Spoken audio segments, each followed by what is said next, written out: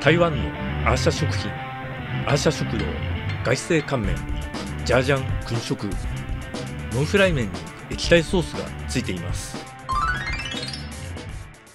麺は幅は5ミリ程度の扁平断面で血入れがありもちもちした食感です。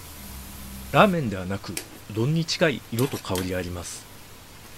この会社の製品は材料は同じで麺の幅で区別しているようですが幅が広い方が食べやすい傾向にあります。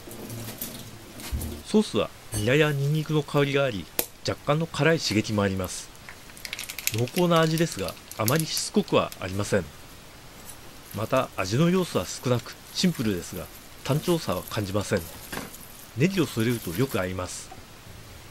絶妙な味のバランスの上で成り立っている製品だと思います。